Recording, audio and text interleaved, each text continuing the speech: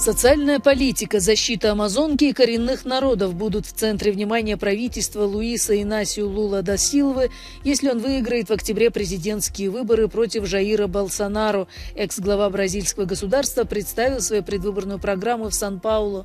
С лидерами семи партий Лула сформировал движение «Вместе за Бразилию» и в предвыборных опросах обходит Болсонару с большим отрывом.